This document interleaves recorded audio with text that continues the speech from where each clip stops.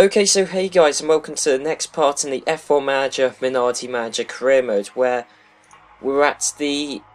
Um, I was going to say the halfway point in the season, not quite. Um, but we're getting near the halfway mark of the season, and we've got the French Grand Prix coming up very soon in two weeks' time. And as per usual, we've got to shuffle through all of the news between now and then, so let's see what I'm sure amazing news there is. Right, and right off the bat, we've got some we've got some confirmations here. Now, Olivier Panis, there's been talks about him all the way through the last episode. Will he join Stewart? And Stewart have confirmed him as their driver too. Which means Mika Salo's going. Which is a slightly odd call. But then again, we've seen Olivier Panis, he's got experience with McLaren, he's been their test driver this series. Maybe that's why, maybe, I don't know, but... Although having said that, Olivier Panis must be around the same price, if not cheaper, than Salo is, so... It might be a cost-cutting exercise, I don't know. We'll have to see what happens to Salo, our beloved Mika Salo. We'll have to see what happens to him. But also, Stewart confirmed Luciano Burti, so... Again, uh, Luciano Burti will be their test driver yeah, it says he'll be joining, but as you can see from the picture, he was originally at Stewart as their test driver. Um, so that means we know how Stewart's going to line up next year. Um, they're going to have uh, Luciano Burti, Olivier Panis, and I'm pretty certain they confirmed that Damon Hill will be staying with the team next year. So that's actually a really strong driver lineup, I'm not going to lie. Okay, so we got Nick Heidfeld is rumoured to be going to Sauber, most likely as a test driver role because even though Nick Heidfeld has constantly been the most highly rated test driver, never has been able to get a race seat. I'm surprised. Sauber, I mean, he could. I don't know. Sauber should take him on as a race driver. To be honest, I mean, I we all know Heidfeld will eventually race for Sauber many years in the future, but still, I mean, I don't know why Sauber. Sauber should take this opportunity to finally pluck the talent that is Nick Heidfeld because no one's no one's given him a race seat, which I'm surprised because he's shown a lot of talent clearly. Um, but Stewart confirmed Matthew Stri uh, Stibe Stib Stibe. They confirmed Matthew as their commercial manager. Now, if you've never recognised this picture before, I'm guessing he's an EA employee. In fact, I know he's an EA employee because, well, A, I've never seen this guy before in my life, and B, Stewart are only paying him 10 grand a year, uh, $10,000 a year, so this is the first time we're seeing an EA employee in Formula One. I mean, not aside from the driver role, obviously we've seen Neil McEwen and Owen Green, but this is the first time we're seeing, as part of the operations management, part of the behind the scenes management. So I don't know why Stewart have done this. Maybe, again, it's cost cutting, like I've already speculated with Olivier Panis, but this is really, really weird. So Stewart's commercial brains are now going to be a former EA employees. Okay, Neil Oatley has designed us some new barge boards, so let's get on to manufacturing them, because again, Neil Oatley, working just relentlessly, just does not stop designing new parts. It's but I mean, I guess that means we've got an aero upgrade in time for this race. We're assuming we manufacture enough of them in time. Um, so yeah, things are looking good for the French Grand Prix already. Right, we got some more confirmations. So Prost confirmed Thomas Enge as their test driver. So again, Thomas Enge's been one of these people in this series who's been moving around, testing for different teams. But now he's going to be at Prost, uh, testing their car next year. And we've also got Prost confirm Craig Tanswell. I guess he's an EA employee as well. Yeah, he is. Well, Prost are clearly going through some financial difficulties because they got Thomas Enge for a very cheap salary, and now they're getting Craig Tanswell as their technical director. Now that's astonishing. So, Prost are risking, and I mean this because it's a very big risk, they're risking an EA employee as their technical director. And that's a very big and important role, a technical director, and risking it to an unknown EA employee. That's a big deal. I mean, Prost, just on this signing alone, Prost could be absolutely nowhere, dead in the water next year. Oh, and on the other end of the scale, Williams have confirmed Rory Byrne as their chief designer. So, there you go. He's been moving around from team to team. He's been at Ferrari. He's at Ferrari currently. And he's been to Jordan. And now he's going to Williams next year. So, keeps on moving around. Can't settle the place. But with Williams having the joint best chief designer, Williams are looking very, very strong next year. Very.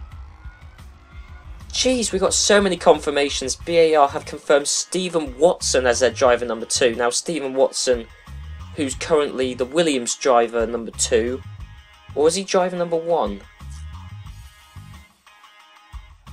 Actually, I think he's, yeah, no, he's Williams driver number one, isn't he? Because Ralf Schumacher's always been the driver number two. But it doesn't matter, he's now getting arguably a downgrade because it's the driver number two, but BAR we've seen this series so far are the third quickest team. They're second in the Constructors' Championship, so if BAR um, are able to maintain that pace next year, we could see Steven Watson maybe on the edge of the championship hunt. Okay, so we got another confirmation. Wow, I forgot how many confirmations you get in the mid-season. But Sauber confirmed Gary Anderson as their technical director. So finally, even though Prost have confirmed an EA employee as their technical director, at least Sauber, while a relatively boring team and haven't done anything amazing so far this series, at least they've been able to sign a good solid technical director and so clearly aren't struggling financially, which is good to see. Right, we got some more confirmations here. BAR confirms James Hawkins, or as their test driver, I guess that's a relief to see. So, James Hawkins, he was rumoured with the drive for Ferrari uh, way back at the end of 99, he was rumoured, but then it was Neil McEwen who got the role in the end.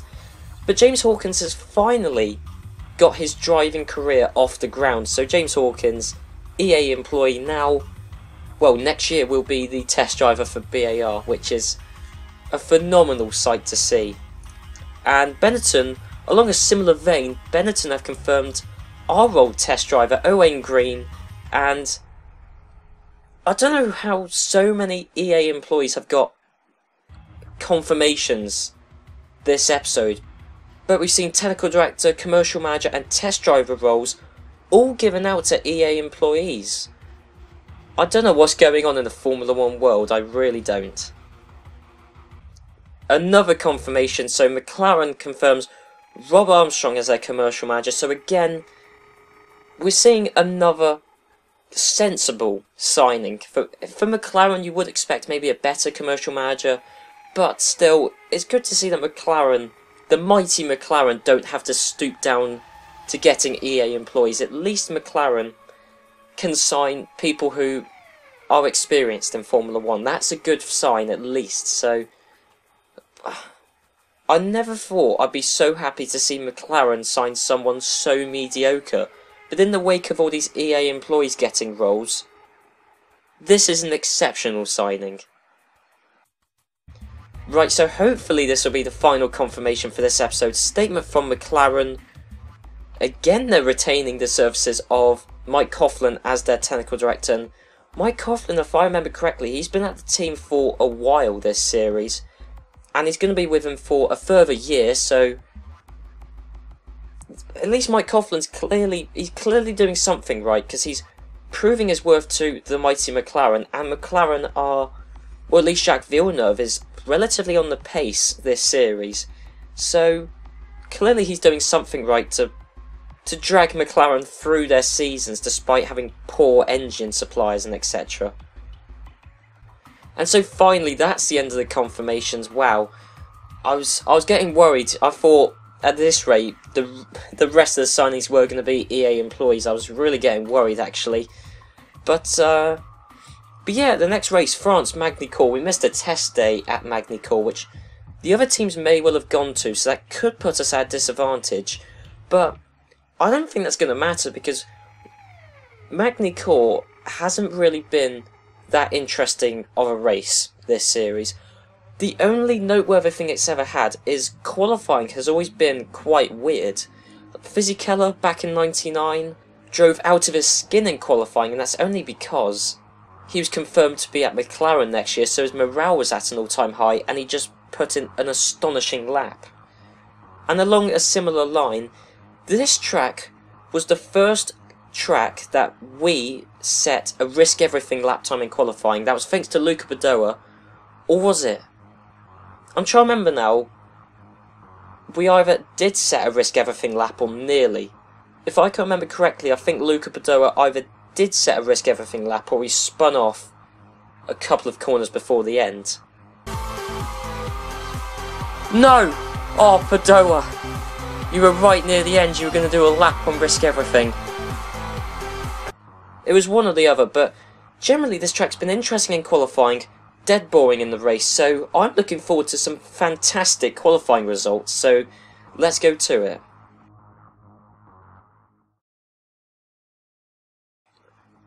Okay, now this. Never mind interesting qualifying results, these are the practice results. There's some, wow, there's some shockers in here. Hakkinen leading it, that's not that much of a shock. Jacques Villeneuve in second place.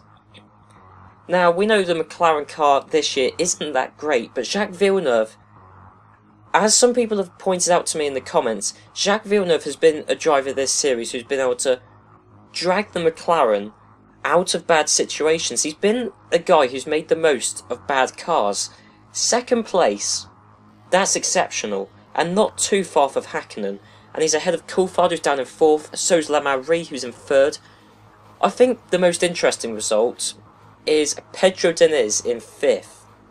Now, I think this is along a similar line of Fisichella back in 99, because Fisichella had an exceptional qualifying result after he was announced to go to McLaren for the following year.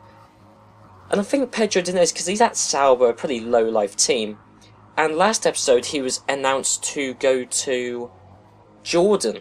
So that's an upgrade, definitely, from a Sauber. And I think it's that morale boost and that excitement of going to Jordan next year. That means Pedro Diniz has pulled off a stunning performance. I don't know why he can't do that all year round, but that's an exceptional performance for Pedro Diniz. Another exceptional performance is Heinz-Harald Frentzen in 7th place. Now, we know Frentzen this season hasn't been that great in practice, but, and you may think 7th place isn't that great, it's behind both BARs and McLaren and the Sauber, but Frentzen's in seventh. His teammate, the great Michael Schumacher, is down in 13th. I mean, if you look, Schumacher's been beaten by Sarrazin, former Minardi driver, both Williams, including his brother. I believe this is one of the few times this series we've actually seen his brother beat him. So, this has been phenomenal. And in fact, Michael was damn nearly beaten by his ex-teammate Eddie Irvine. Then moving further down the list, Jean Alesi in 15th place for the Arrows is phenomenal. And then you got Zanardi putting a relatively decent practice result, not gonna lie. Um, De La Rosa putting in a shocker of a practice result. I mean, we know that Jordan's got the second best chassis in the grid and he's down in 18th. But then again, both Stewarts of Damon Hill and Mika Salo, 19th and 20th. What on earth's happened to Stewart? So, if these exact results come up in qualifying, then we could have a very interesting race on our hands.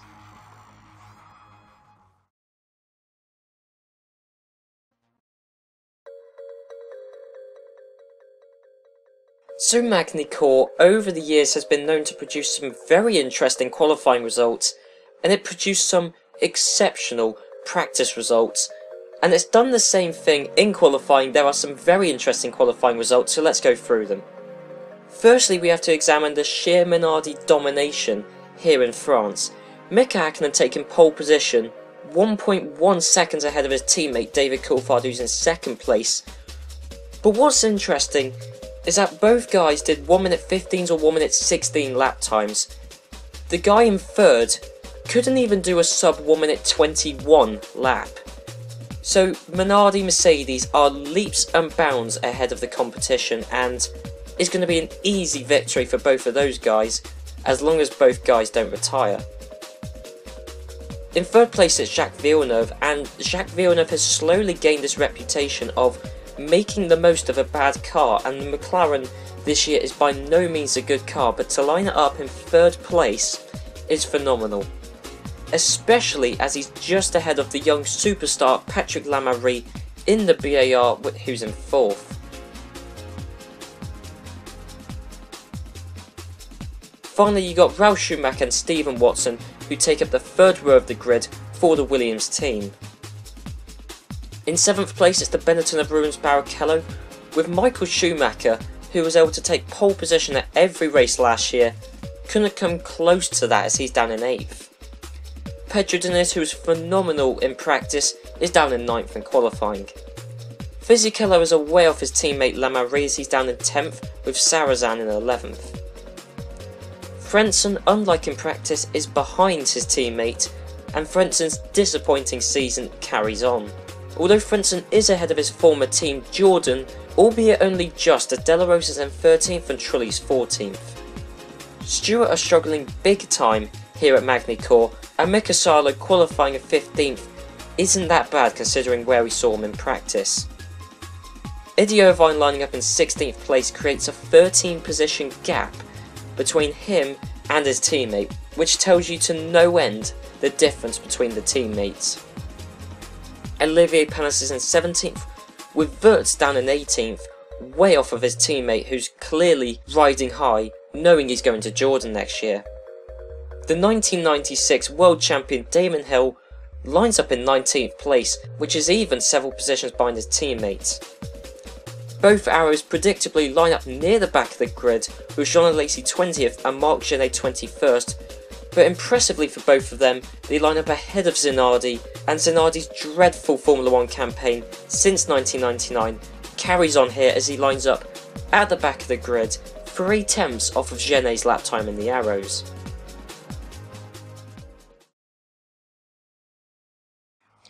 So hey guys, and here we are on the race strategy screen for the French Grand Prix, and what a phenomenal qualifying session that was, honestly.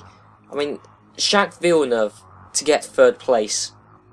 And you've got to realise how good of a performance that is for Jacques Villeneuve. Because McLaren are only using Ford Zetec engines, which so that means they're outpowered by everyone apart from Arrows.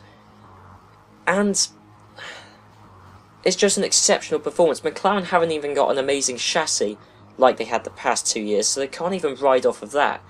So for Villeneuve to get third place is outstanding, and Eddie Irvine, who's by no means a slouch, to be down 16th, that that tells you that tells you everything you need to know about Jacques Villeneuve this series. I'd say, honestly, maybe Jacques Villeneuve, I'd say, is quickly, in my eyes, becoming the most underrated driver this series.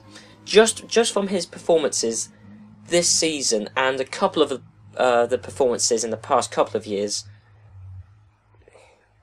he's done phenomenally well. Michael Schumacher down in 8th.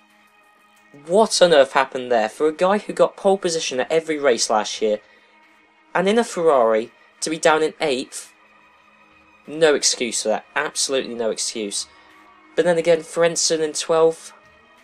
Honestly, I don't know what's going on with Ferrari, but I don't think we've got to worry too much about them because look at look at the domination from Minardi. Look at that.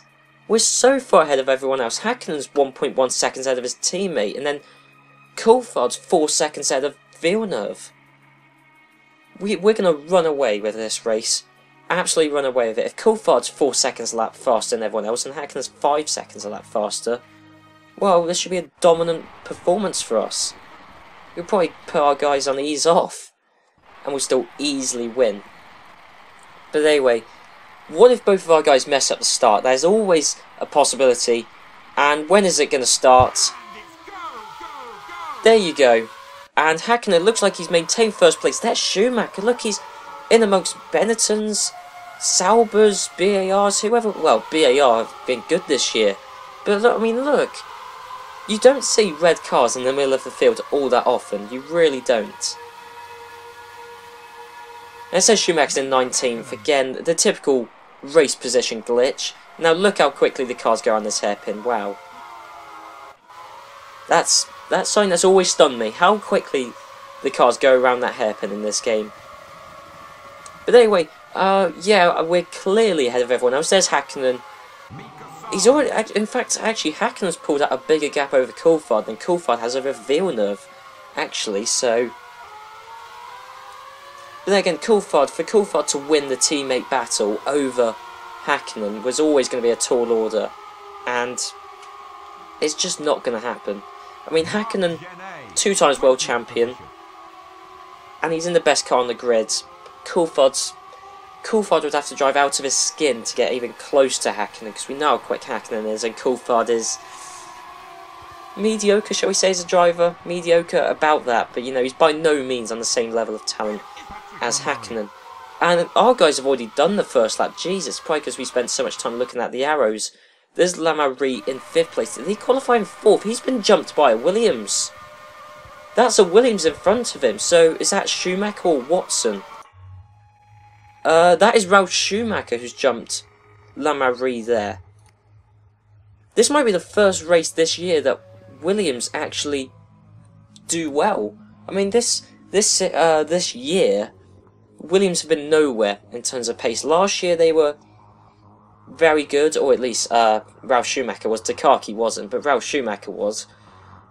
But this year they haven't really been anywhere. I think all they've really had to their name is reliability. Someone who hasn't got that to their name is Frentzen because, why? Another retirement. I mean, sure, this one's a driver error, but how many races has Frentzen finished this year so far? About two. I mean, one or two, honestly. Like, Frentzen's not a bad driver.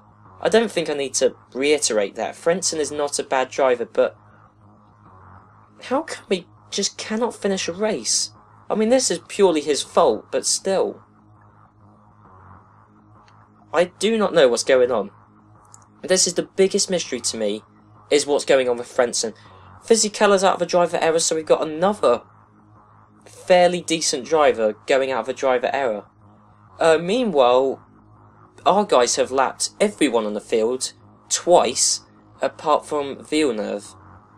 Actually, Villeneuve is definitely holding his own in this race. I mean, Ralf is nowhere near him, and in fact, Villeneuve isn't that far off of Coulthard. Actually, Villeneuve's closer to Coulthard than Coulthard is to Hakkinen.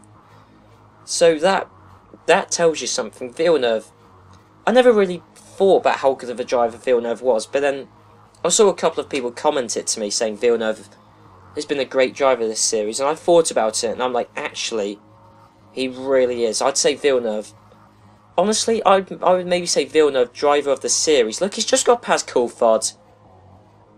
Or that might have been a pit stop thing. I think it was. Zanardi's out of a driver error. No surprise there. But I mean, Zanardi, I mean, on the other end of the scale, I'd say Zanardi's been the most disappointing driver this entire series. Shocking in 99, shocking in 2000, shocking in 2001. I mean, th those drivers are other ends of the scale stuff. Uh, Schumacher have a suspension failure.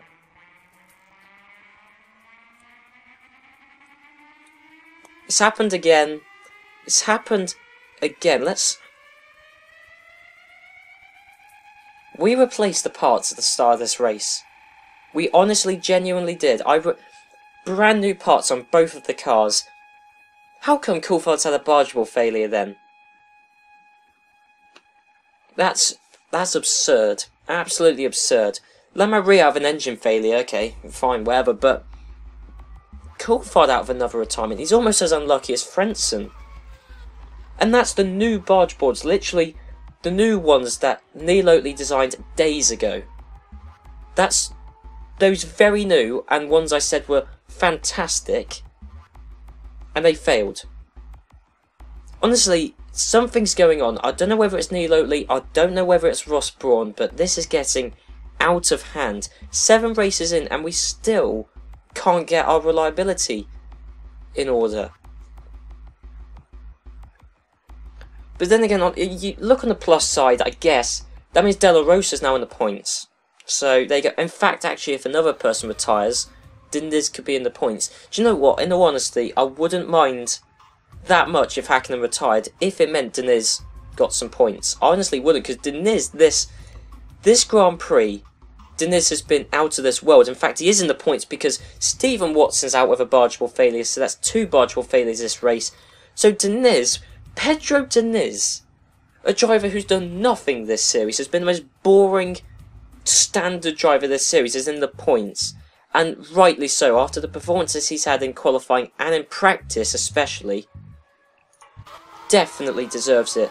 But there anyway, Mick Hakkinen, dominant drive. Even even Coulthard couldn't stay close to him. But then again, Coulthard clearly had a faulty barge board, so you've got to factor that. Coulthard had a faulty barge board, and on that fact alone, he could have been a few tenths of a second, or a few tenths of a second a lap slower. Did that come out right as a sentence? Anyway, Hakkinen, he's being held up by this Jordan. I don't know what's going on, but Hakkinen's going to cross the line to win the 2001 French Grand Prix. And that Jordan, jeez, that Jordan was being over-aggressive with its defending then. Jeez, which Jordan was that? That was uh, number 7. So that's, um... Trulli. Oh, well, it's maybe maybe it's because Trulli's disappointed he didn't get the Minardi seat. But then again, Trulli signed for Williams. That's his that's his mistake. We tried to get him. But anyway, let's just skip to the end of the race. Villeneuve, so far ahead of the rest of the field. Villeneuve second place, thoroughly deserved. I mean, finished two minutes ahead of Ralf Schumacher in third. And in fact, Ralf Schumacher, that's the first time this season we've seen Ralf Schumacher get a decent result. He was getting all sorts of podium finishes back in 2000. Absolutely nothing this year, but he's got a podium finish, and Ralf Schumacher, he definitely deserves it. So it's good to see that Ralf Schumacher and Williams, and Supertec, of course, because Supertec seemed to be the weak link for that team. We saw it last year and this year, but it's good to see that Ralf Schumacher, Williams, and Supertec have got their act together. Ralf Schumacher's got a podium. Barrichello and the Benettons fourth, De La Rosa fifth, but the main story, I feel, Pedro Diniz in the Sauber going to Jordan next year. Pedro Diniz finished sixth at this Grand Prix. He's ahead of a former world champion in the Stewarts.